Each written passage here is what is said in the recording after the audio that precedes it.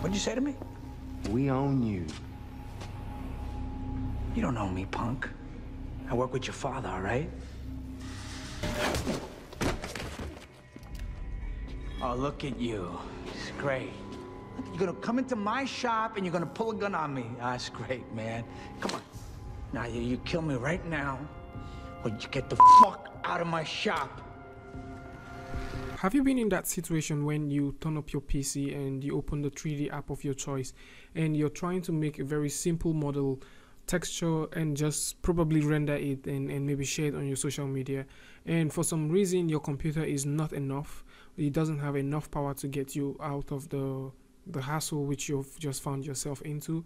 Or maybe for some reason the 3d application you're working with doesn't have all of the features that you want to make use of probably because you're not able to purchase the ones that have licenses and all that. Well today i'm going to talk about a very free 3d application that's out there and it's for free. It's online. You can do whatever you want. The only thing you need to get is a browser and then you can be able to do whatever you want to do. Hi guys and welcome back to Ask NK. In today's video we'll be talking about a 3D app called Vectary. Vectary is uh, a 3D app that is based off on your web browser. So what this app does is basically it's a 3D app that has been made easy for beginners that want to get into 3D to be able to you know get into uh, texturing, modeling and probably lighting their scene without having all of those hassles of installing stuff and maybe paying for licenses, watching bunch of tutorials and all that. So with this app, you can be able to just simply get on with making very cute models and probably light them, texture them and also render them. If you want to see how to get on with this, you can find it at vectary.com. I'm going to put the link in the description so that you can find it. And originally this app was targeted for the card industry but over the time it made its way into the design industry. So if you are coming from either of these parties you'll be able to simply walk right into it and get something done for yourself. So let's get right into this app and see how it works. Like i said earlier first of all you need to get a web browser which i believe everyone has and then go to vectary.com also you need to get an internet of course obviously. So once you go to vectary.com the first thing they will ask you to do is to sign in. So you have to sign in for you to be able to create a profile that you can work with. Then once you've done that you're just simply going to click on start designing and automatically it's going to get you to a page an empty space where you can do all of your design stuff it's very easy very intuitive. The learning curve is super easy. It doesn't uh, take you about 15 minutes for you to know exactly what you want to do.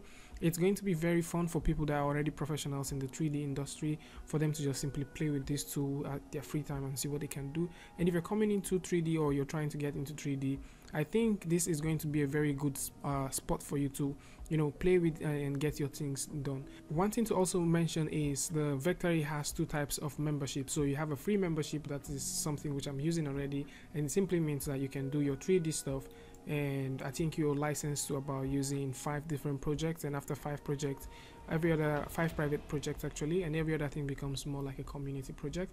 And when you become a premium member you'll be able to invite other people to you know uh, work or collaborate with you at the same time they can be working on the same file with you. So it, because it's strictly and it's basically online everything you do is in real time.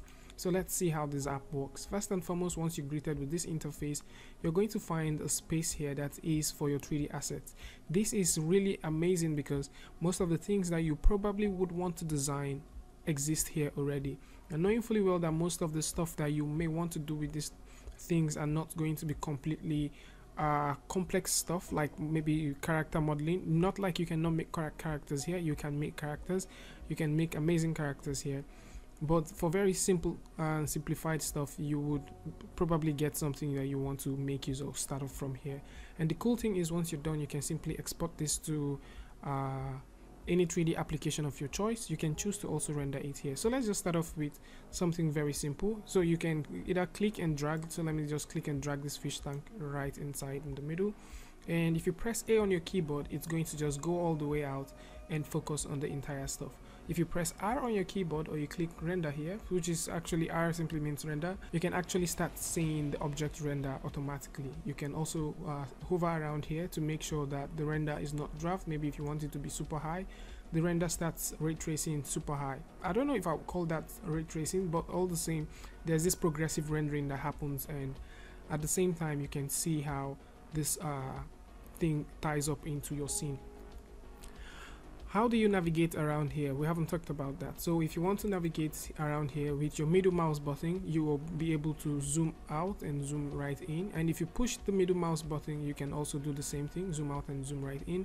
If you use the right click you can simply just pan around your scene and the left click you can use it to rotate. Pretty much like some other 3d apps I've worked with before but not exactly like this. I think because the buttons are quite switched off so you don't need to you don't need to touch a keyboard for you to be able to do this. And this is very and this is very interesting because that means on your tablet with your pen and maybe on your iPad or maybe on any other stuff that you have that just demands a pen you can simply just use a pen and make all the models you want. And if you click on this burger menu right here you'll be able to import stuff you'll be able to save stuff. You'll also be able to play with the settings the available settings that that are here. So you can also choose to play with the dimensions and so on and so forth. Very very amazing stuff. Like right now we don't want to see this fish tank anymore. We can just simply press the delete on our keyboard or you can use this menu here. Click and then you can simply delete this. There's just a lot of things happening here. It will blow your mind when you start working with this tool and all of a sudden you forget the fact that you're actually working online. So if you go over to new object you'll be able to put this particular one in an x-ray view and start a new project altogether. Or you can just simply come through select this and either turn it off turn it back on or simply delete it. So i'm just going to use the keyboard and press delete and get this out of the way. As cool as that is I would also want to simply start something new. So let's uh, go through and just simply start something new. I'm just going to click on new project and then let's play with this tool and see how it works. So first of all you can choose to draw uh, things by freehand. So if you select freehand and just simply do something like this you'll be able to just draw uh, stuff freehand which is things like your splines and your curves that you can use as profile shapes and so on and so forth you can also choose to uh, make use of this to you know smooth things out if you want to create uh, circles. You can smooth things out. You can also increase and reduce the distances. So instead of using the menus where you get to see properties here you can actually just simply use these properties to play with it. If I want this to be about 30 I can just simply press 30 and there it goes. And if you've taken a quick peep at this stuff you'll find that it has this parametric kind of uh, gizmo which simply means that once we want to start making uh, new stuff I'm just going to select this and delete this as well. Once we want to start making new stuff I'm going to bring out a small cube here and just simply change this about size like this and something like this. So we have something like this and I can just increase the height and maybe something just exactly like that. Okay so I was talking about the parametric gizmo. So once you look at this gizmo you find out that it has the it has the uh, scale it has the transform and rotate on all of the possible sides that you would want to scale rotate and manipulate or transform your objects. If you want to start uh, playing with the vertices all you need to do is just simply right click you can right click and start uh, editing the geometry. You can press enter to start editing the geometry or you can simply double click and then automatically you can start editing the geometry. If you've worked with 3d studio max before or you've worked with uh, other apps like uh, okay I don't think Cinema 4D does that. I think 3D Studio Max. So if you worked with 3D Studio Max before and for some good reason you've been able to play with the editable poly you find out that once you press 1 automatically it goes to the point. Once you press 2 it goes to lines or edges like it's pronounced or called in Maya in Cinema 4D and once you press 3 it goes to face uh, it goes to the faces or polygons like it's called in other 3D apps as well. So once I simply click on this particular one now if I hold down shift just like you do in 3D Studio Max and in Maya if you hold down shift and you scale this in you see you can actually extrude that. If you hold down shift and you push this up you can see you can also extrude that. So very fun stuff something you can simply uh, work with. And also if you want to simply make use of the menus here you can simply use E. So if I just uh, click here you can see I can make use of these menus here to simply work with this. And by now you might have noticed that this automatically starts snapping to a certain angle. It's because we have snapping turned on here. You can come through and just simply turn off the snapping but for this particular stuff we don't we don't care about the snapping so we're just going to move on.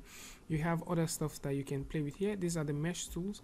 So if you want to maybe play with the mesh tool maybe increase reduce create something fun you can go ahead and just simply make use of this mesh tool to do all of that that stuff. So if I come back to this I'm just going to press enter just to let this be. If I come back to this I can choose to make multi cuts or single cuts okay so we can do this and create multi cuts by using this. So if I do something like this I can also come through and create multi cuts from the top all the way to the bottom I can also do the same thing from the top all the way to the bottom something like that. So it is some it is an app I think that you would really enjoy playing with especially if you're getting into 3d or maybe you just want to try something new you just want to get a, a fresh air of something totally different. Something that's not uh, Maya Blender 3 Max or Cinema 4D or Modo you just want to try something new for a change or you don't have a, a powerful PC to get some of those things that you want to do out of your uh, computer and, and all that. So you can try with something like this. Uh, one more thing I should talk about is once you want to make your selection just like you do in every other 3d app just like you do in every other 3d app once you want to make a selection of a particular object you can just simply click hold down shift and go ahead and click and select. And there's a very cool thing that this app does that or this software does that I like so much it has this multi menu if you've used Maya before you find out that in Maya you also have the ability to make use of this multi menu okay? So you have the ability to make use of this multi menu if you uh, simply press down tab so I'm in a view like this. If I simply press tab it goes all the way to an orthographic view. Okay? So this is just something I think you should also have in mind. So I'm just going to go ahead and find something like this and I'm going to make multiple selections. I just want to show you guys something really cool. Something really really cool. So I'm just going to go all the way and have something like this selected. And what I would like to show you guys is this button here that says make circle okay? So if you just simply click here automatically it makes circle. Everyone that's coming from 3d studio max anyone that's coming from maya anyone that's coming from uh, apps like cinema 4d would know that something like this took a while before we all got it to happen.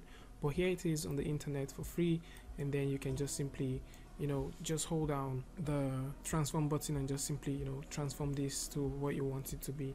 And at the same time if you want to make a selection of multi faces once you just simply select hold down control and double click once you just simply select hold down control and double click you can make selection of uh, multi faces and this is something that is really incredible and just to know that this exists for free and you can just use it online. So if I go ahead and just simply select the entire the entire uh, edges like this I can right click and create a bevel or I can just simply come here click and create a bevel or I can press B on the keyboard. And once I have this B once I select B you get to see this tiny stuff and I can create the bevel that I want. Okay then you can create the bevel that you want. And whenever you're done doing whatever you're doing you can just simply click on done edit and there you have it. The object that you've modeled is ready for you to make use of. At any time you want to jump back into editing you can just jump right in and start editing.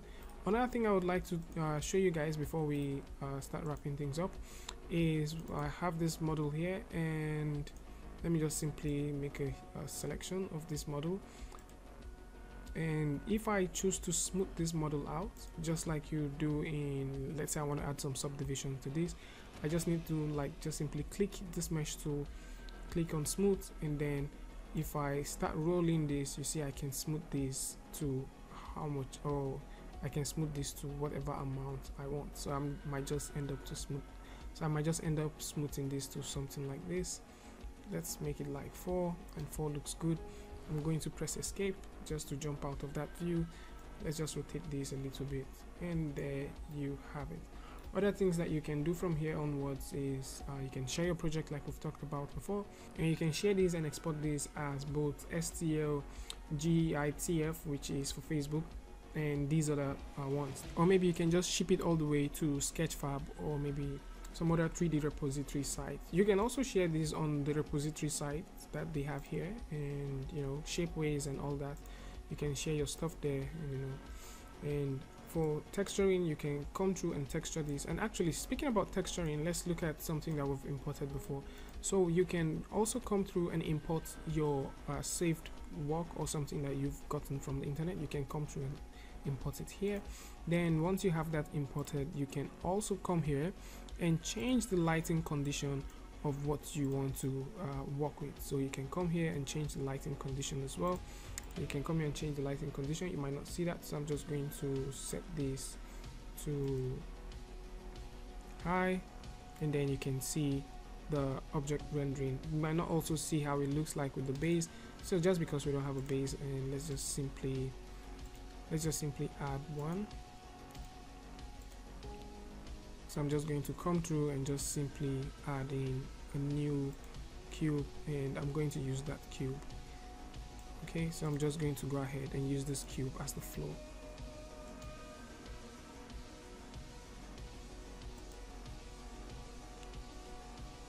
And you can see that it's rendering automatically even without us refiring the renderer. So I'm just going to you know come all the way here just a little bit and rotate this about this point and you know just zoom right here and keep it there. And also you can play with the lights that they have here. So they have mostly all the kinds of lights that you want to make use of in your project. So we have this area lights which is called rectangular lights from uh, this app. So you can come through and you know just use the area light to punch in some some looks somewhere like there and you can also use this to play with how much uh, intensity you want the lights to have. You can also change the color of the lights. Let's add some some red to this. You can change the intensity of the light as well. You can also change the width how how wide and how small you want the lights to be. So this is technically a complete 3d program for just modeling stuff.